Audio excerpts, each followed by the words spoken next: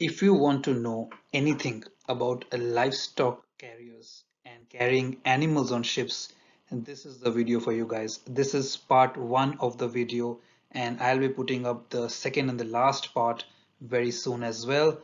Uh, watch this video. This will be very helpful for you to prepare for examinations as mariners because this is pretty much a summarized version of knowing different aspects of operations on livestock ships. Regulations governing the carriage of cattle vary from country to country, with some countries enforcing them strictly while others do not.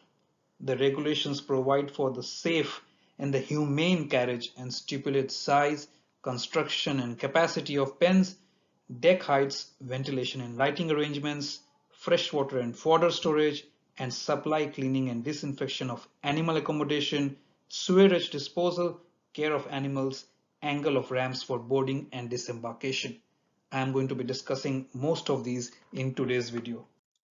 The main trades are sheep from Australia or New Zealand or to the Middle East countries, especially Saudi Arabia, cattle and horses from Argentina to Europe, and cattle from Ireland, Poland, and Italy to the Middle East. During the Hajj or the pilgrimage season, a large number of animals are shipped to Saudi Arabia.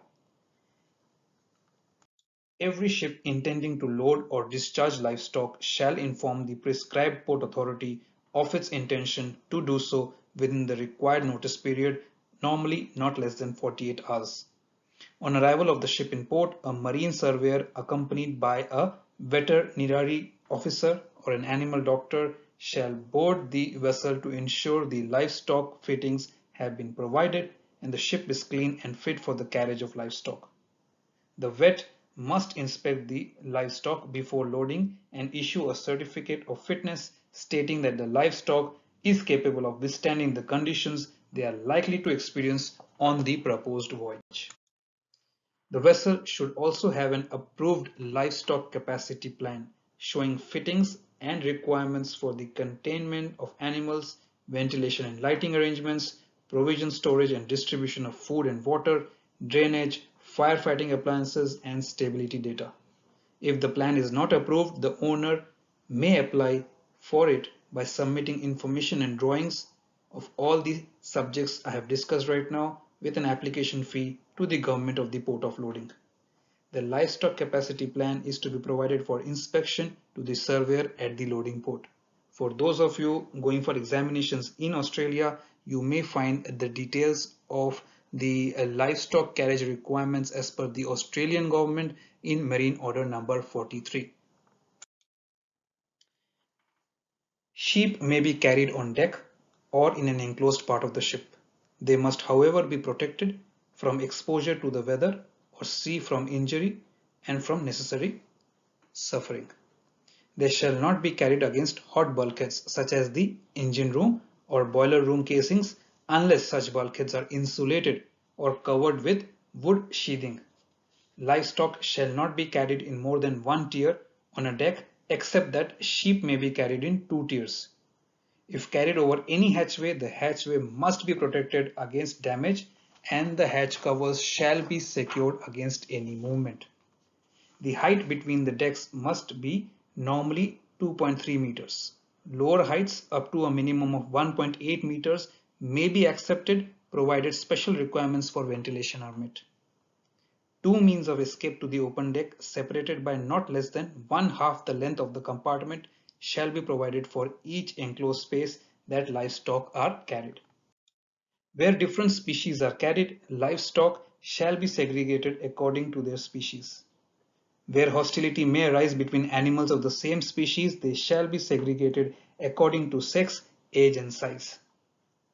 Livestock should not be carried in areas where they would obstruct the approach or exit from the accommodation space, means of escape from any space or a space necessary for the safe working of the ship.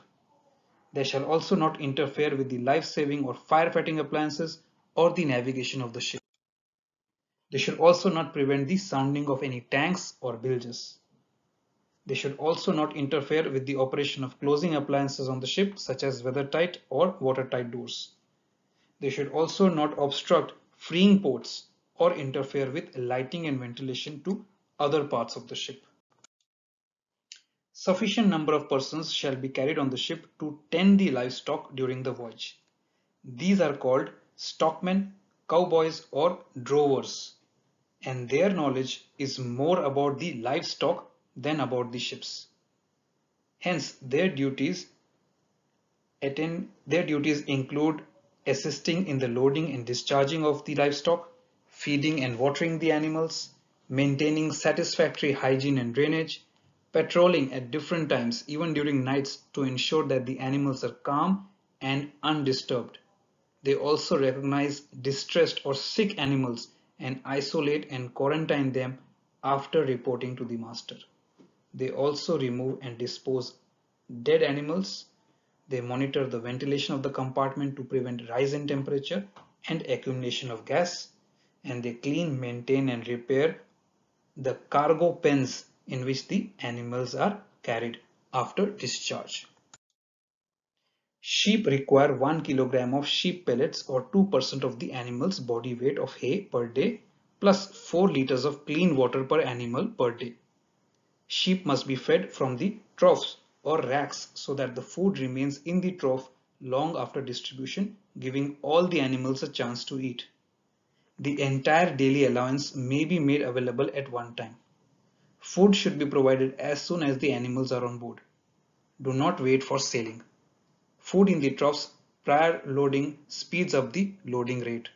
Food and water should preferably be available all the time. Feeding and watering should not be done from the same trough, but where it is unavoidable, the trough should be cleaned before being used for watering. However, it is better to have dirty water in the trough than no water at all. Cattle require 2% of their body weight per day of body weight of hay per day and 45 liters of water per animal per day. Cattle should be fed twice a day while water is to be made available at all times in clean troughs. Hay is stored in bundles on the topmost deck from where it is dropped down onto the respective cattle decks. Where fodder is stored in bulk, the tanks or silos should be frequently cleaned out to ensure that the quality of fodder is good. Fresh water piles must be provided on each deck and space where livestock is carried. Unless an automatic watering system is installed, sufficient number of cocks are to be provided which may be fitted with a flexible hose. Ventilation of the compartments is an important aspect in the successful carriage of livestock. Ventilation prevents the rise of temperature and humidity, thereby reducing heat exhaustion among the animals and prevents accumulation of ammonia, hydrogen sulfide and other irritating and toxic gases. Adequate provisions must be made for ventilation of all spaces in which livestock is carried. Mechanical means of ventilation must be provided for enclosed spaces capable of changing the total volume of air in the space within 3 minutes if the deck height is 2.3 meters and within 2 minutes if the deck height is 1.8 meters and in proportion by interpolation if the deck height is anything between 1.8 and 2.3 meters. Air intakes should be sited so as to provide clean and fresh air and the exhaust should be sited as high as possible. Sufficient power generating capacity shall be provided on the vessel to enable continuous running of the blowers without interfering with the normal operation of the ship. Sufficient spares shall be carried to the satisfaction of the surveyor to enable replacement of defective fans or fan motors. In the event of a breakdown of mechanical equipment, natural ventilation shall be immediately provided through natural draft ventilators, wind sails or by opening covers, vents, etc. not required to be closed by load line regulations. Finally, the life-saving appliances, the, the life and the firefighting appliances where hay, straw, foodstuff or bedding of a flammable nature is stored, notices prohibiting smoking or use of naked lights shall be prominently displayed. A fixed firefighting installation using water as the extinguishing medium shall be fitted in each compartment where hay or straw for the livestock is carried or even used. The fire pumps shall be capable of supplying water to this system as well as to the fire main. Alternatively, portable fire extinguishers shall be placed one for every 18 meters length of the space.